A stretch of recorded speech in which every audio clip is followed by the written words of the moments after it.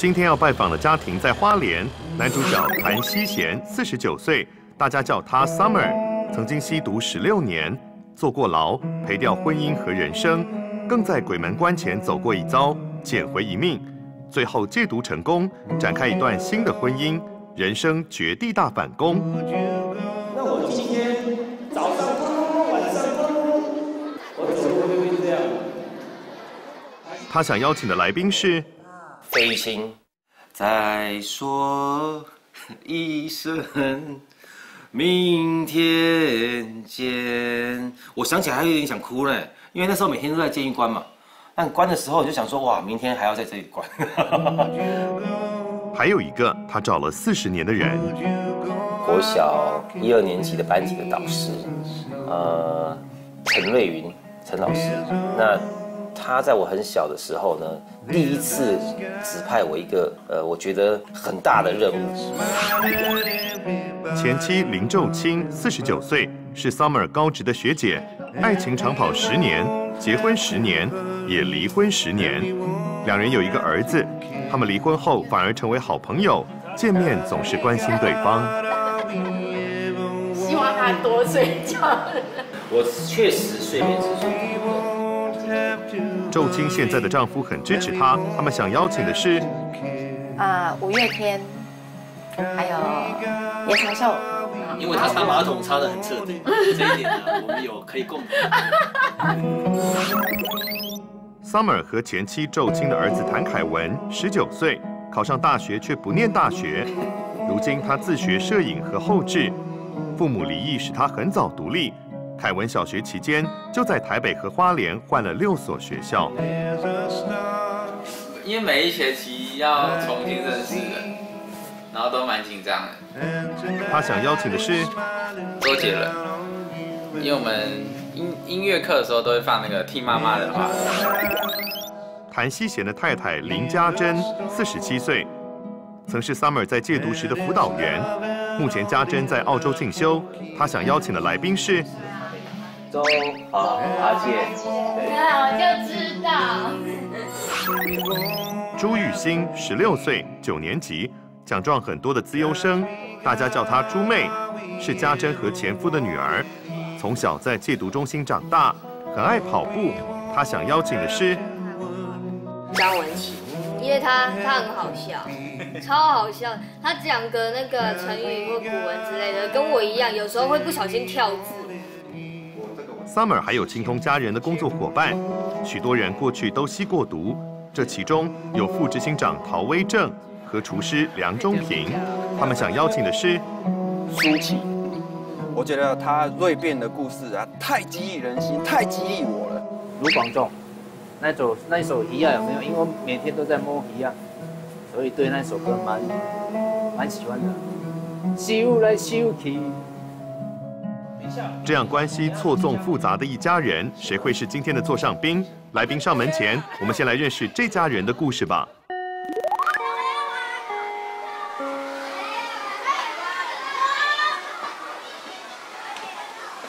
老师好。你好，先生，我是学务处陈主任。他们已经在架对对对，都到里面准备了。今天我们请的是校长的好朋友，啊，他是新生活教育中心的执行长南启田执行长，我们掌声欢迎开除。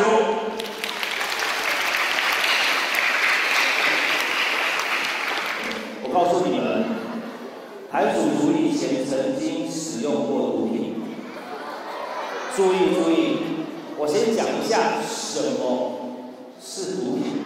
第一次来的举手看一下。这是一场小学的反毒宣导。谭希贤很诚实的告诉小朋友，他在退伍后当水电工时开始吸毒。我当时吃了一个不该吃的毒品，那个毒品的名字叫做安非他命。有听过的举手看一下。我曾经吃用过毒品长达十几年，可是我还活着，对不对？我告诉你们一件事情，不是每一个人都活着，也有人被关进什么地方了。猜猜看。谭希贤这样的反毒演讲，去年一年他讲了两百场，今天有四场，光开车就开了六个多小时。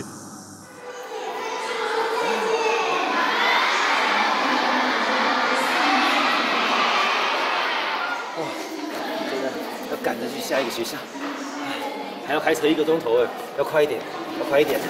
哎呀，这个曾经我有忘记哪一个月份，我算了一下，大概我在。火车上啊、高铁上啊、交通工具上、这个计程车上、汽车上面吃饭的时间比在陆地还要多。那有一个月，那个一个月真的很很操劳，就是全全台湾到处跑。我一个月平均啊，就是算起来，台湾要绕三圈。十年来，走遍全台十几所监狱、数百个校园，同时培训反毒教育人力，这些都是 Summer 的工作。哇，来，我们练一下，谁能够讲的最好？我。好，最帅、最漂亮的是谁？我。对对对对对。怎么有其他的人还没有做到呢？Summer 以前工作是水电、室内设计，吸毒多年，家人一直都不知道。十五年前，正是 Summer 吸毒人生最黑暗的谷底。他一个人开着车，沿着美丽的海岸公路来到花莲，这里是他戒毒的起点。那时候我印象中，我从台北来花莲戒毒的那时候，我开的那台车子是一台。红色的箱型车，那因为那时候还有药物的反应，所以当时那时候转弯，我都发现转弯怎么四个轮子变两个轮子，四个轮子变两个轮子，哎，那个那个叽叽叽叽叽的时候，它甩出去的时候已经是翘起来了，都不害怕。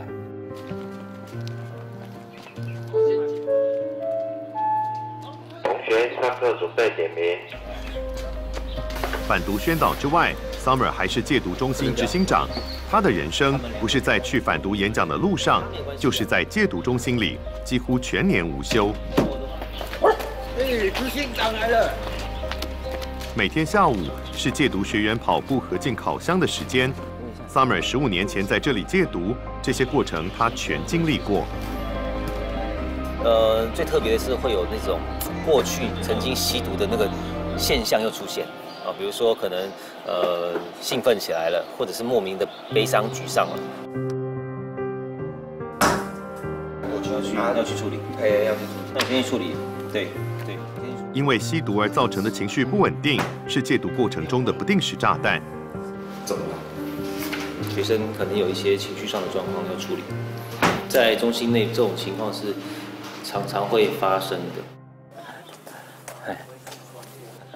这一天，满面愁容的妈妈带着二十出头吸毒的儿子来这里寻求协助。呃，你能走出来，我觉得很开心，已经替你拍拍手。对啊，你知道用 ice 根本就出不了门，会把自己关起来。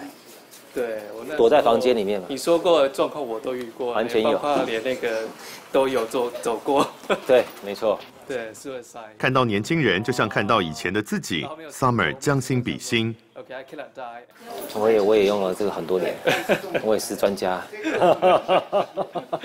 我也是专家，我要断断续续的说，早上几乎全天整天都在用，醒来就一定用嘛。我那时候其实用到最后也是，嗯，怎么讲，产生了一些幻听幻觉，嗯，然后被害妄想，疑神疑鬼，紧张兮兮，然后呢，就甚至有想要寻死的念头。对啊，没有一个任何一个活着的人不能重新开始的，就是这样子。所以每一天都是新的一天。对，妈妈也不要太有压力啦。嗯，对，我相信 OK 的。我应该比，甚至我比他们家人还要了解他，因为呢，被毒瘾控制的一个状况，其实是外人没有办法理解。毒品让他赔掉婚姻，差点没命，但毒品也让他的人生从此翻转。可是我回头去想这件事情，还好我站起来，我从负的上到了。正常状况的时候，这个过程当中所经历跟学习到的，可以让我接下来的路可以走得更顺。反而对我来讲，它可能叫做因祸得福了。不是那么圣人的好不好？就是也会这样噼啪噼啪。然后当我决定那天，啊，我决定了吼一吼哈，然后就好，那就这样子了。为什么 Summer 的前妻必须吼一吼？别走开，马上回来。我是温真菱。我在《奇迹的女儿》里面饰演的是陈宇娟，《奇迹的女儿》是在讲述民国六十六年的故事，然后同时给当时的女工一个非常大的致敬，以及呈现当时他们所面对的困境。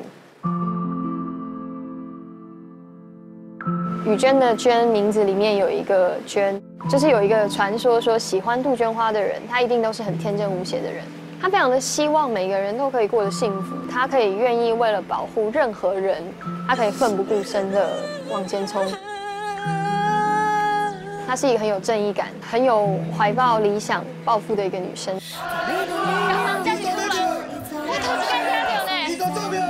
她在做女工之后，她看见了她很多不理解人生、不明白的事情。她以为在农村乡下生活的时候是一件很简单的事情，然后没有想到到了都市去工作做女工，却有那么多生活上的困难跟那么多的问题要面对。这三支小可无车好就要靠钱，安尼就真拄煞。连去便所去几届拢有限制，安尼学会糟蹋人了吧？雨娟是一个不愿意被改变的人，她希望他自己能够不被世界改变，同时希望可以改变世界。雨娟一直在试图冲撞社会，她用她自己的身体，一个小小的女生的身体，她一直在不停的用她自己冲撞这一切，这个体制。你个讲几摆搞试看买啊？小杂某啊！你讲啥？你是不是小杂某啊！小杂某太小了！哎呀，算只冲撞了一点点，成功了一小步，雨渊都会这么做。他其实有一个很炙热的勇气，比很多人都勇敢。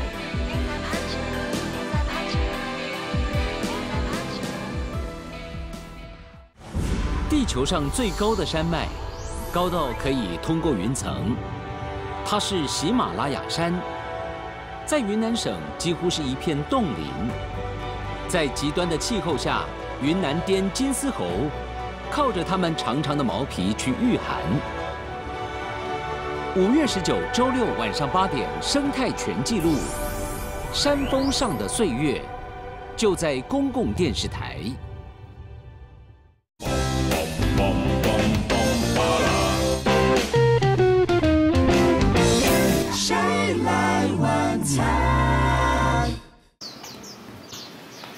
今天谁来晚餐拜访的是花莲的独嗨家庭。我们来到主角谭希贤前妻台北的家。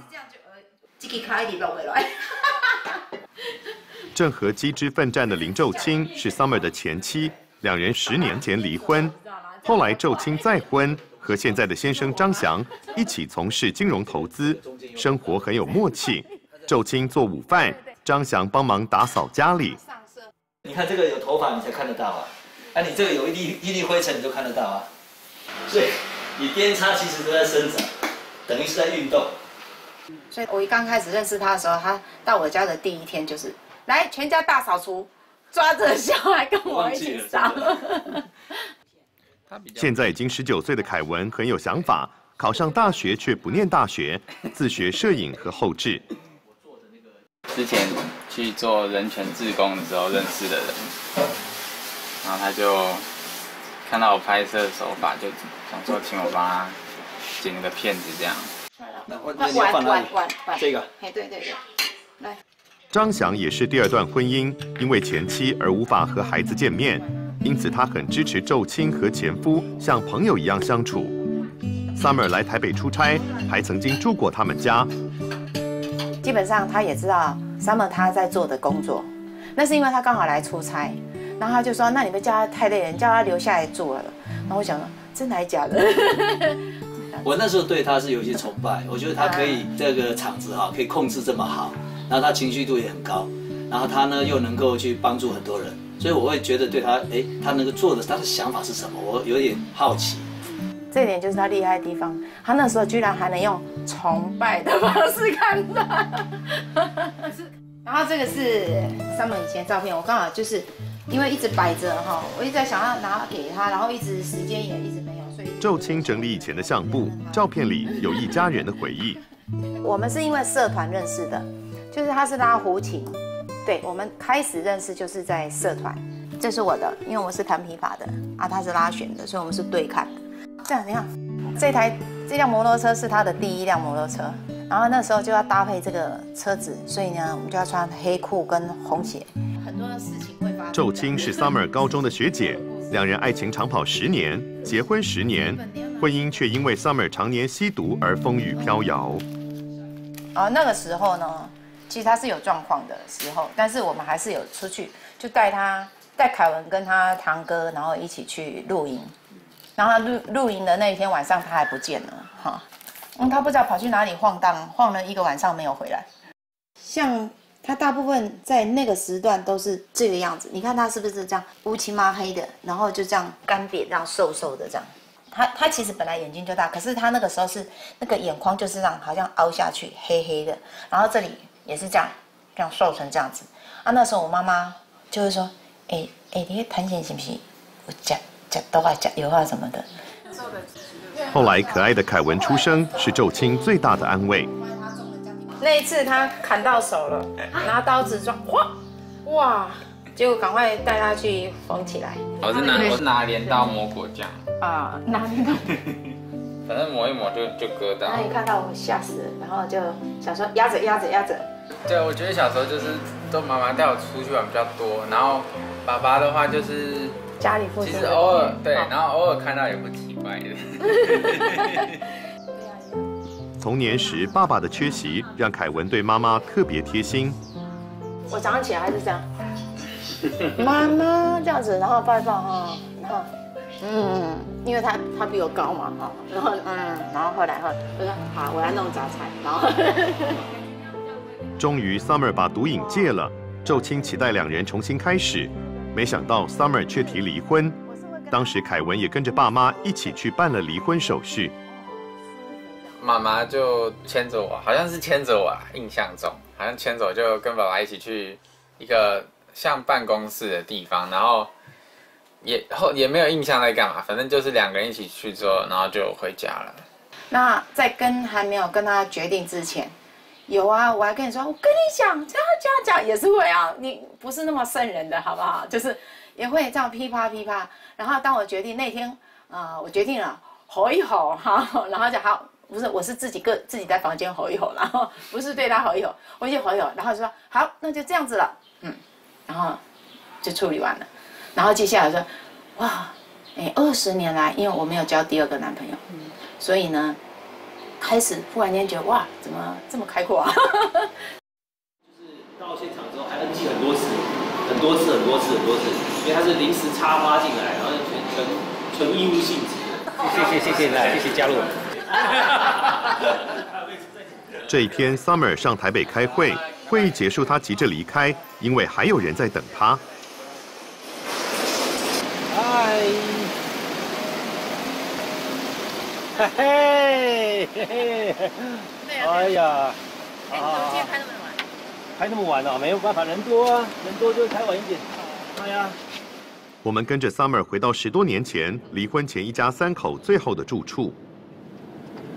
对，我就是每一次从那边隧道过来，就是走这一条，可是再来不知道，有一点忘记了。好，有印象吗？招商，楼下就看得到，就在前面一点点那里了。好像有，有了哈。花过去水果大卖场十块那里，对，就是十块的楼上，就是以前住的地方。可是 seven 不见了哈。哇，还有印象吗？对不对？对对对对对对对对，那，应该是这边的。对呀，不是你三十，三三十哈，哦，三十，进去一下这样。喂，警察临检。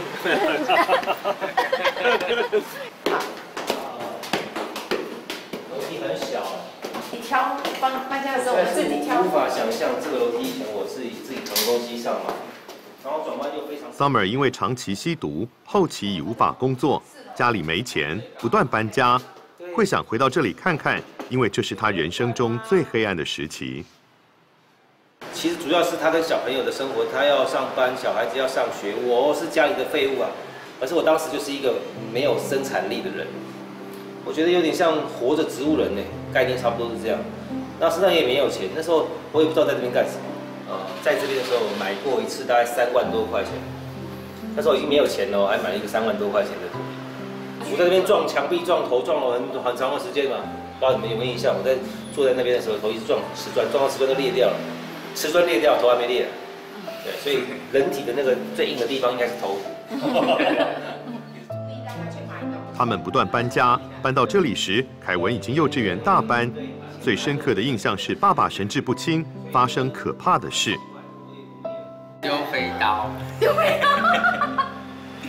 好像你在位置那边吧，然后。那时候好像进房间还是怎样，然后就就就就有刀子这样秀过来，好像插有插到门，啊，门上有洞。丢刀吗？我觉得我没有印象，可能木板我会哦。对，因为你看过那个功夫片。两人的婚姻没有在吸毒期间结束，Summer 却在戒毒后选择离婚。当然，有些人会觉得说你这很忘恩负义。但我在最好状况的时候，脑袋最清醒的时候，我再去思考这个事情。其实我回头去想，在高中的时期，因为是我学姐，嗯，对吗？所以那时候班上同学曾经也跟我讲过，说你学姐跟学弟不可能在一起，没看好，你看衰你。那其实我回头去看一下当时的婚姻，也有一个冲力动力，是为了说，谁说学姐跟学弟不能在一起，我就是要在一起给你看。嗯。但是那个不应该是婚姻应该有的成分，对我来说，嗯，对吗？所以你把这个拿掉，这个拿掉，这个拿掉，这个拿掉，再回头去审视，说我是不是一定要跟这个人去继续走下去，这是另外一件事情。不一样的话就不需要那么勉强了，对不对？因为后面还那么长的日子啊。我是我是没有什么啊，我什么都不知道。我说我说的困惑是什么？是他觉得我们都相处的 OK OK 的，那因为他看。好像有问过为什么不住一起。嗨嗨嗨嗨嗨。然后去了还说什么？即使成为前夫前妻，还是好朋友，也一辈子是家人。是家人，或许一辈子都是家人。嗯。不会变成仇人。我你把反目成仇那种东西，我觉得有点。没有那个必要性。嗯嗯嗯。那实际上家人可以无限扩展。基本上我也把我这个现在的婚姻，他现在的婚姻，我也我也认为的是家人。我觉得还是会是一家人一直走下去。是他的父亲母亲，我到我在虽然很远的花莲还有关系。那我想说身体好吗？送我茶叶啦。对呀，我今天还想特别想说要包个红包给他们。虽然已经没有亲戚关系，但是我觉得还是你你知道。家人要关心。好了，没事。不会啦。对啊，那还是家人的感情，还是感情。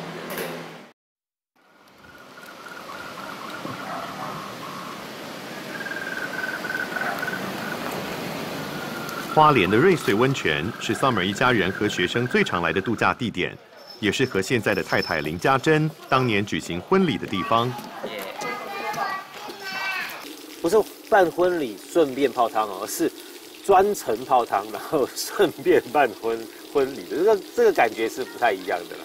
应该全台湾没有任何一个婚礼是一群戒图学生还是半成品的情况下当做婚礼的见证人。婚纱照记录了两人的甜蜜时光。当时新娘的结婚礼服、首饰都是借来的，职员七手八脚帮忙化妆。戒毒的学员们送上亲手写的祝福卡片。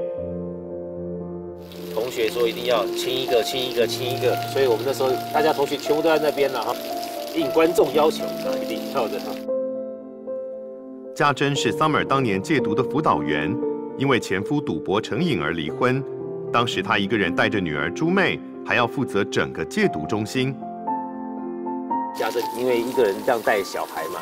我记得那时候在教室里面，我们在上课，他在地上爬来爬去，爬来爬去的爬行爬虫类动物，然后到最后会走路，然后会撞到桌角，然后走楼梯的时候会滚下去。我记得他还从楼梯上面滚下来，我还接过两次。哎呦！Summer 戒毒成功后，决定留在中心，帮助其他需要戒毒的人。反正就是，当时我们分别都离婚了嘛，然后可是主要的都还是在工作上面。那工作一段时间，你几乎每一天都要处理很多的问题，你一定要找出解决方法。那自然而然，你就是变成工作上很好的伙伴。那又长期这样下去的时候，就会有产生的情愫嘛。然后在交往一段时间的时候，也发现应该要结婚了，也不是第一次结婚了，所以呢就没有那么的高调。父母的离婚和再婚，朱妹和凯文都参与过。他们结婚的时候，你有没有来现场？我有啊，我当然有啊。我没有。他没有。我有。我被遗忘。我还记得我有在那边看老妈在看那个化妆，我有看。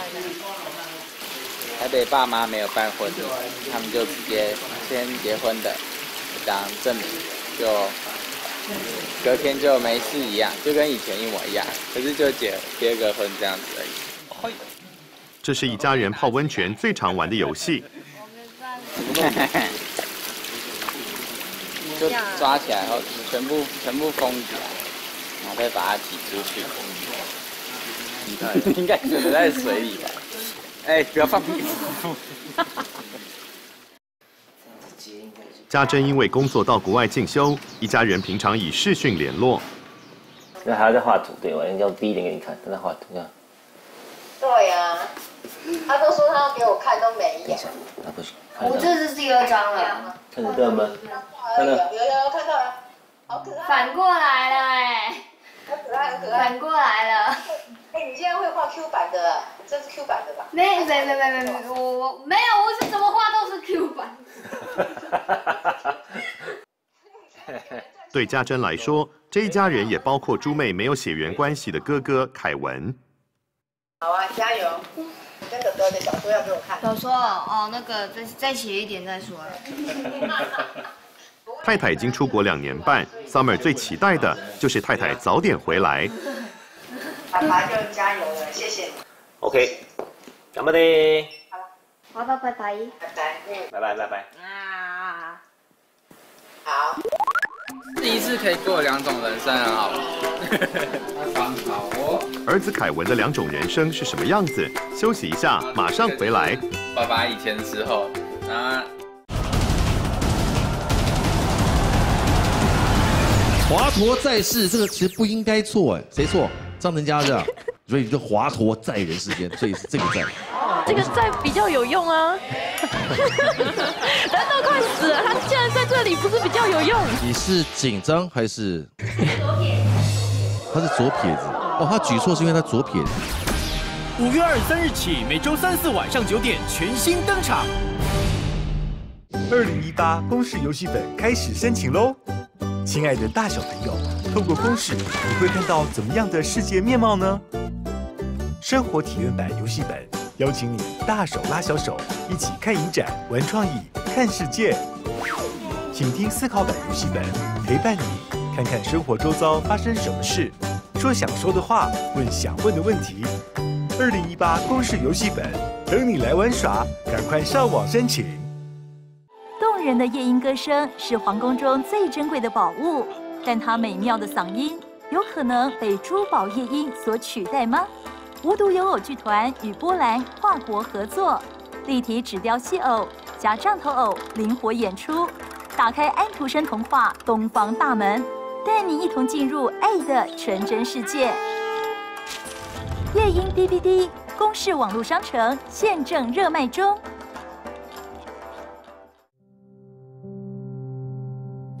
我这个人哦，这辈子没什么大成就，就是希望我的孩子哦，可以有点成就。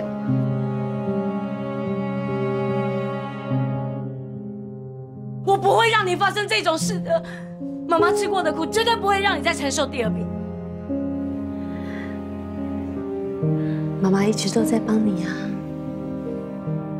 到现在都还是。你是妈妈生的，是妈妈养的，你不可以有这样的想法，你不可以。我不懂他为什么要读这些，他太小了，读这些太早了。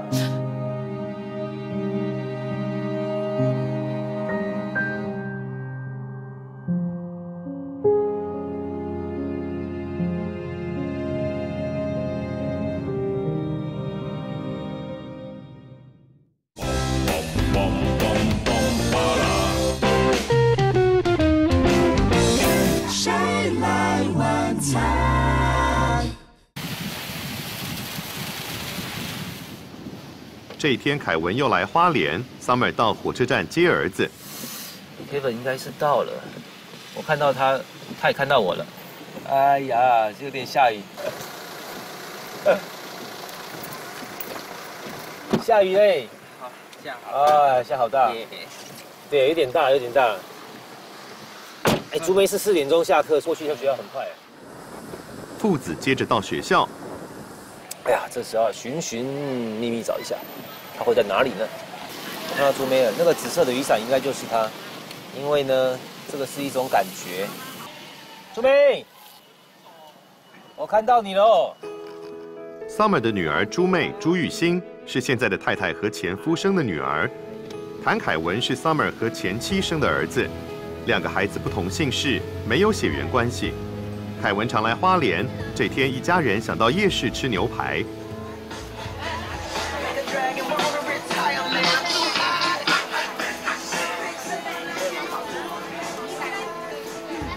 那你还想要吃东西吗？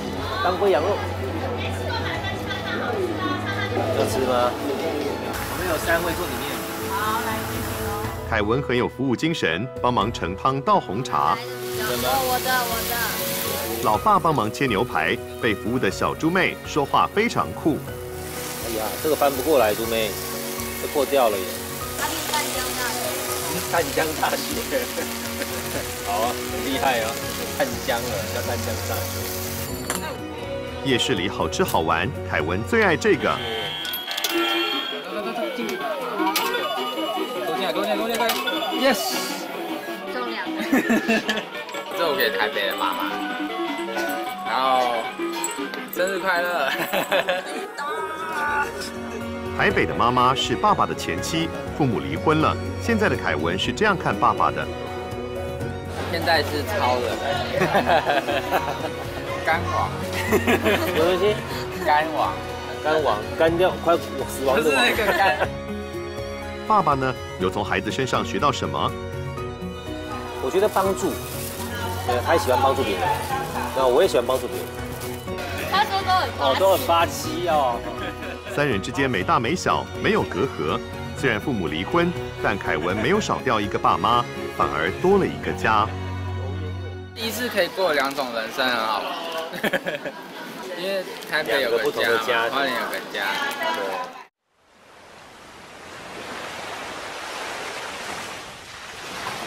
把它放好哦。这谁的房间啊？他的。我的。他叫吉鲁诺，很笨。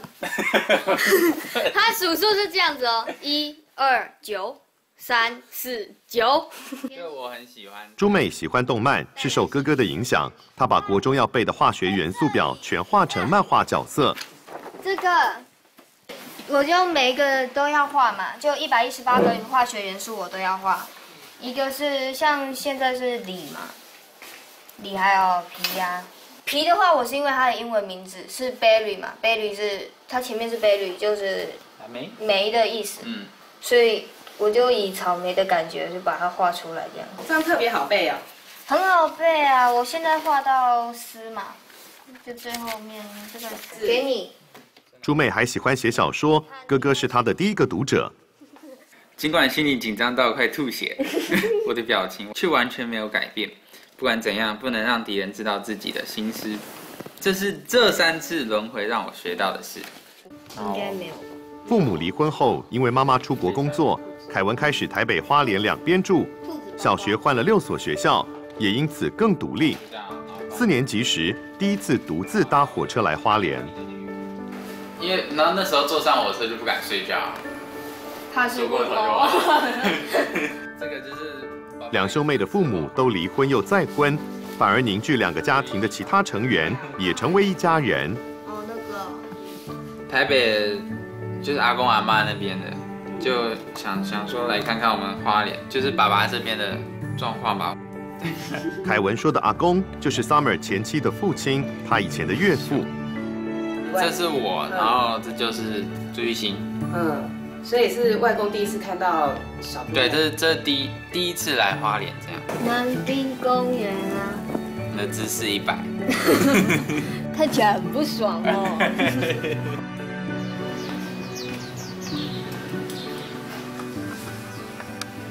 朱妹起来了吗？今天因为爸爸一早有演讲，不然朱妹常是家里最早起床的人。昨天考试也是兄弟过。嗯，对啊。翘起来。收拾好书包，自己上学去。慢走。因为就是我习惯自己走路，然后想说，既然他还在睡觉，就不要吵他。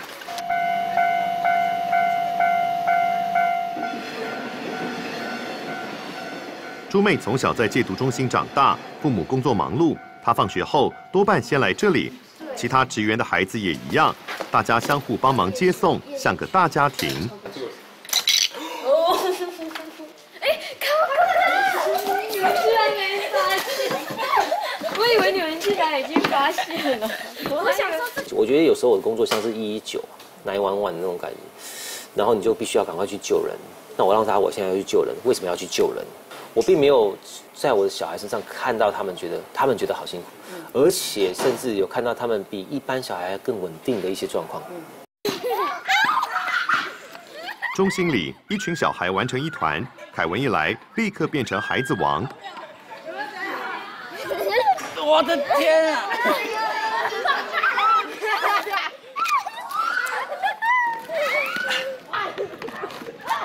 猪妹就有点不同，不爱玩这些。啊，小猪妹呢？她都在那边跑啊，那边。小猪妹，啊，跑几圈？她都一直跑，跑到她爽。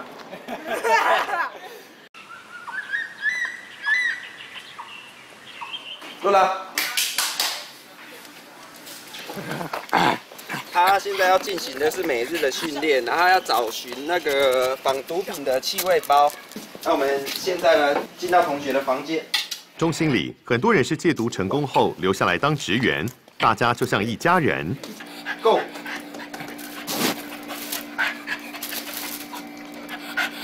会了，会了。Lula 是弃毒犬，陶威正是戒毒中心辅导员，同时负责 Lula 的训练。呃，这是台湾唯一一支民间的弃毒犬呢。当那个大众知道呢，我们有这样子的那个职员，他也是我们的职员啊，那就会呢，对于带毒品、夹带毒品进来呢，会有呃警惕、喝阻的作用，这样子。Lula 的工作主要是搜索园区有没有毒品和检查新进同学的行李。你看过比较夸张的方法是在哪里？哦，那个呢，在呃闹钟里面，那闹钟嘛，那有十字的螺丝，然后松开，然后是放在里面的这样子。五年前威正来这里戒毒时是被扛着进来的。对，那个时候那个也是有一个不想活的念头，啊、然后我就把我身边啊所有呃找得到的药物啊，还有毒品，全部一口气就食用了这样，然后所以呢就昏迷了三天，所以才被扛着进来的。威正以前是水果经销商，一个月能赚十多万，但赚再多也花光在毒品上。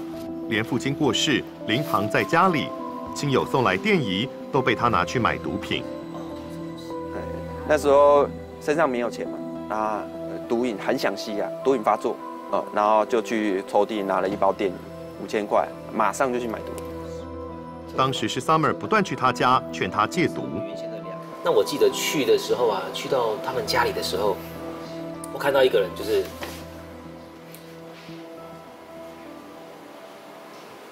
就差不多就待在那里的。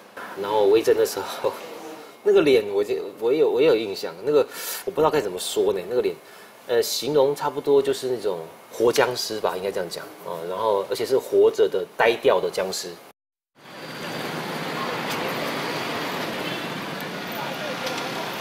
今天人就多了。梁中平平哥戒毒中心主厨。骗假骗假啦！这一天中心办尾牙要做三桌菜，他一早就带着妻女上菜市场。馆长你好，我三只，唔免剁，我给剁倒。今今仔你休困，今仔我给剁。平哥吸毒时很辉煌，当兵时是安非他命，退伍后是海洛因，戒毒多次都没用，在监狱关了十年。原本从事水果批发，但一吸毒就完了。他可能那个瘾再上来，然后就受不了，然后就会乱丢东西，啊，不然就拿东西会想要打自己，或者想要自残这样子。哎呀，那个脸的话看起来就是非常的人家讲的这个面目狰狞这样子，而且哎呦，你死一种尴尬，你知道吗？那其实我也知道他非常难过啊，啊，可是就想要阻止他看可不可以不要去拿药。怎么点啊？是，你不给我，我就要对你怎样那一种脸。然后那那种日子真的是完全是没有明天的日子了，今天过完再说了。平哥的太太红白雪真的是他的白雪公主，吸毒史的终结者。两人高中夜校同学，出社会十多年后再相遇，知道平哥吸毒，白雪还是嫁给他。我是觉得他很勇敢啊，因为我在吸毒了，他还敢嫁给我。没有想了，真的是觉得这就是给他赌下去这样子，赌赢了就是我的这样子。重点是他是好人啊，我都一直觉得他是好人，就想说给他机会啊，然后也给我自己未来一个机会试看看。改变平哥人生的不只有白雪公主，这一路上我很感谢我岳父，因为我岳父他都没有反对我们在一起，然后反而更加关心我这样，然后我就来花莲戒毒嘛，然后戒完毒之后，然后他又知道我在餐厅工作。他很高兴，然后直到我第一次放假，我就买了一只锅子回去炒给我岳父、岳父他们吃。然后我岳父第一次看到我，他跟我讲一句话：“你重出江湖。”这句话我一直放在心上，直到他有一天他要走了，我在他的耳边轻轻讲说：“爸爸，感谢你，你那一句话重出江湖有没有改变了我一生？”平哥戒毒后才开始学做菜，当厨师。那切了鸡进来吃啥呀？曾经是热炒餐厅主厨，如今夫唱妇随，为中心戒毒学员的健康加油。啊？荷叶纸牌啊？荷叶纸牌。荷叶纸牌。你对我过来，你等一下。我要见嗯。中心职员的孩子们总动员来厨房帮忙。把它铺一个。平哥、威正、凯文想邀请的来宾是同一位，大家特别来拉票。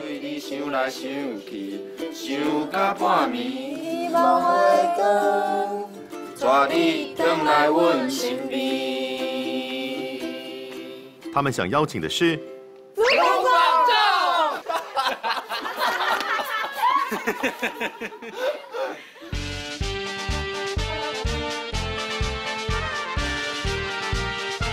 菜终于上桌喽！对他们来说，不止迎接新年，更迎接新的人生。好，我们来，举杯，耶！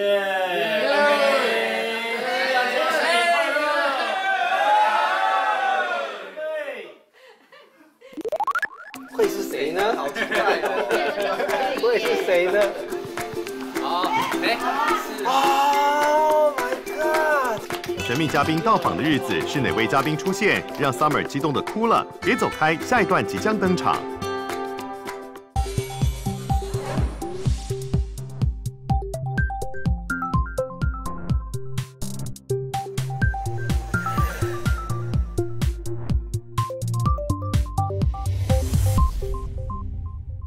미국본토전역이우리의핵타격사정권안에있으며 핵단추가내사무실책상위에항상놓여있다는 것。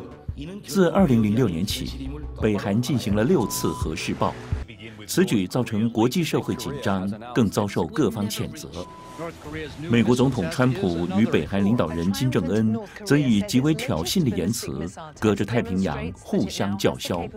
But if it is forced to defend itself or its allies, we will have no choice but to totally destroy North Korea. 北韩超乎预期的核武技术再次震惊全球，但其实金氏政权早已酝酿核武计划许多年。北韩准备好要出最后一张王牌了，赌自己将以机智胜过美国。五月十八号周五晚间十点，公示主题之夜，狂人对决，核武我最大。公示国际影展，给您经典电影的复刻重现。英国文学改编，见证大时代里的禁忌之爱，莫里斯的情人。Continuing like this, you and I are risking everything we have. Our families, our name. I don't give a damn about name. 荣获三项奥斯卡肯定，一栋房子串起了阶级之争与情感纠葛，此情可问天。Don't take up a sentimental attitude over the poor. Poor are poor. One is sorry for them, but there it is. 荣获坎城影展大奖。爱看电影的男孩，影史不可错过的经典，新天堂乐园。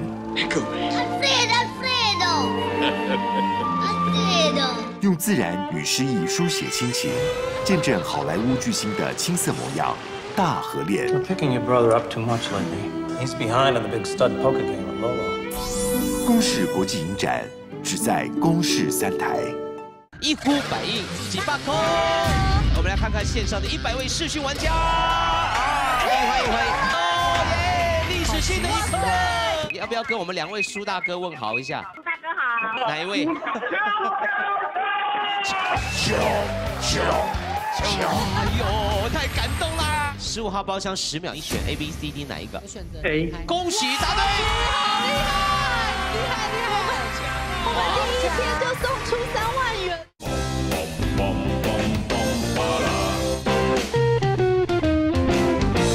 谁来晚餐？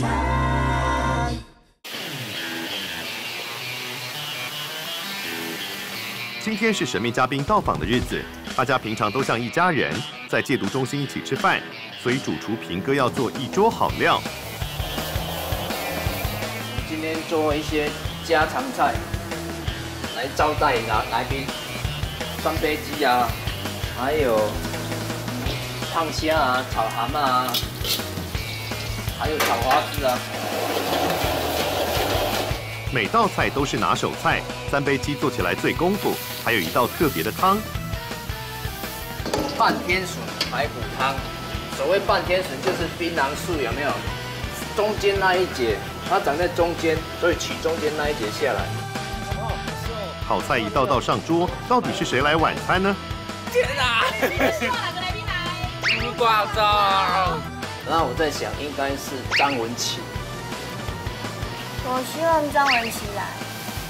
我最希望舒淇来，因为他是我的偶像，最有可能是卢广仲。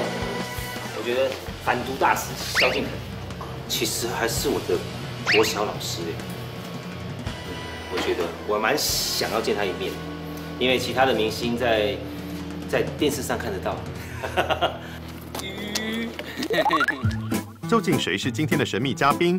是艺人卢广仲、萧敬腾、舒淇、张文琪，或小学老师陈瑞云呢？谁来晚餐？神秘嘉宾现身，进入倒数计时，大家正在等待。我们在等等等等等等等等等等等等等等等。不要乱自带音效，很可怕。会是谁呢？好期待哦！不讲也真的是太妙了，是很期待的。猜会是谁？我觉得是，我觉得是，我觉得是蛮久。可以。啊，到底是谁？到底是谁？到底是谁？到底是谁？到底是谁呢？神秘嘉宾终于来了，结果是谁呢？哎，谁谁？不要乱叫啦！好，哎，哦 my god！啊！耶！哦，老师好。哦，哦，哦，好久了，三十年了，老师。好久好久没看。答案揭晓，今天的来宾是 Summer 小学一二年级的导师陈瑞云老师。四十年了，辗转寻找老师，当然了，高兴啊，喜悦啊，感动的都快要哭哭了一个晚上。即使四十年没见了，陈老师还是一眼认出 Summer。对呀、我教他一二年级的，哇，四十一年，我的天！一二年级是我教的，可是他那个样子我一看我就知道了，因为他说眼睛很亮，对，眼睛亮亮的，然后胖胖的，现在瘦了，小时候也脸就这么大了，到现在也还这么大。你看，我高中老师、国中老师、国小老师，这么多老师，我那时候问的时候，第一个想到就是，第一个想到就是你，这 样子我吃饭，这怎么吃的？为了来看 Summer，老师还带了秘密武器。哎呀，这这这不会吧？天哪！哎，我看一下，哎，真的呢！哇，别闹了，真的是，我看一下，你找到他在他在哪里？哇 my god，这个真的是古董了耶！前面老师在这里。啊，这个，这个。啊，这里在这里在这里对对对，不太敢翻过来。快翻！噔噔，看到了，在这里。看到没有？有。看到你爸爸长得这个样子，小的时候长得这个样子。这个，你你爸爸帅还是你没帅？还是你帅？他可爱不可爱？哇，我写的字哎，骄傲和吝啬都是天才的敌人。啊，记下来，孩子，你们把它记下来。哇，这是个古董啊，应该供起来。来来，供起来。四十年寻诗记，Summer 一直记在心里。当时老师给他一个任务，让小学一年级的他知道什么是责任。我记得印象中是跑到老师家里面去拿去拿吐拿吐司面包而已。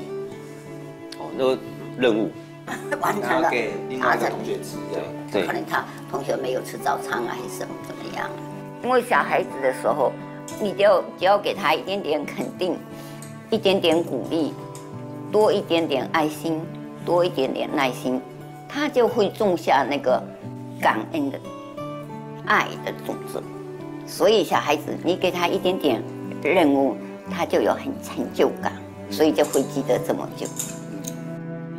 这颗种子从此在 Summer 心中发芽，即使曾经走错路，最后还能重新开始。那个起始点啊，很重要。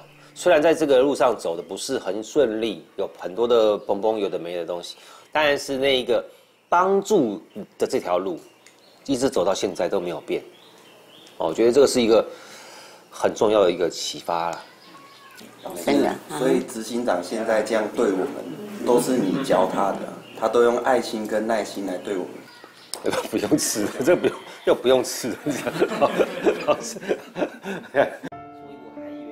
和 Summer 一样，威正和平哥都曾经沉沦毒海，因此更珍惜新的人生。当时候那时候我也是有那个想要冲动的那个脾气上啊，哦，就脾气暴，很脾气很不好啊。嗯嗯，然后当时就是他们夫妻啊，我们一直鼓励，一直把在旁边，在旁边鼓励。然后开导我没有，嗯，没有他们就没有今天的我，也就没有今天这一桌菜了。我们像朋友，啊，像像家人朋友，像家人也是同事这样。你你讲的老师又想哭，讲到这些老师又想哭。怎么吃？你看，说 hold 住，hold 住，hold 住，hold 住，大家都 hold 住。好煎熬哦，哦，好久那个没有那个冰火九重天的感觉。听老师讲起老爸的小时候，两兄妹觉得很有趣。一二年级很乖呀，嗯，一二年级老师说什么就什么，对不对？老师打他一下手心，他讲谢谢老师，谢谢老师。我只能说时代变了。我们现在的一二年级，不要讲不要讲国中，从一二年级就开始拽了。哦，我觉得以前的时代真是太好了。老师，你教过很多学生嘛，对不对？啊，怎么对爸爸特别有印象？对爸爸特别有印象的，第一他长得很帅，就是我第一个印象的，对不对？外表一看他就长得帅，眼睛很亮，哦，特别有印象。而这个礼物是老师对改过自新的学生最好的肯定。什么呢？他有有意义的，有鼓励的，有鼓励的心。这老老师的是什么意思呢？就是同心协力，然后你说这个同心协力，对对对，forever 为夫妻同心协力，为反毒奋奋斗奋斗，牺牲奉献，应该这样讲。好好，牺牲奉献。对对对，他们都温馨难忘的一餐，在泪与笑中，在五六年级的童军歌声中画下句点。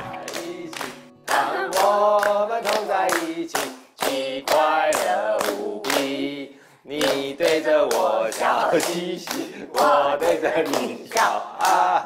让我们都在一起，你快乐无比。哇哇！这种又想哭又想笑的感觉，好折磨。啊，唱的唱的儿歌，我更想更想到小时候的。哦，对，哇，煮这么多的菜，这一餐我负责哭就好，你们吃。哦，没办法。西贤现在把事情做得这么好，老师感到好安慰。一个孩子在吸吸毒多年嘛，他能够把他感化来，太不太不容易了。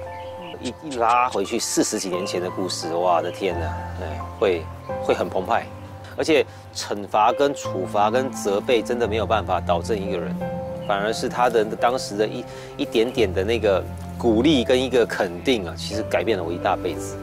他都是用心在沟通的，只是像这样放轻松可能比较少，对啊，老师来让他哭，整个喜极而泣了。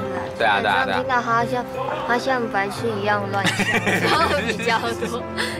老师用他的智慧呢，然后让一个孩子负起责任啊，然后影响到他长大之后，他成为我们的执行长，然后做了帮助，做了十几二十年这样子，原来是当初的一个小动作。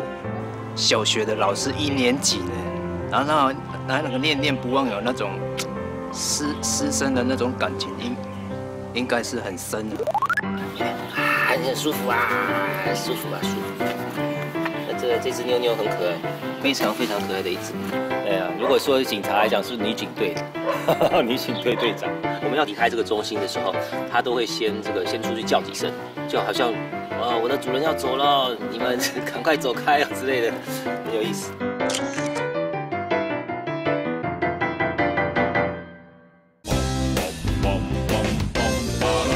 唐胜杰曾经是台湾四百公尺自由式纪录保持人，渴望参加奥运的他，却因为一场药检乌龙大受打击。这过程中，你还是会听到很多闲言闲语。去比赛就会听到一些，哎，这是你们泳队那个谁都爱吃金药啊。回到泳池，他难再突破个人成绩，成了唐家人最不愿面对的记忆。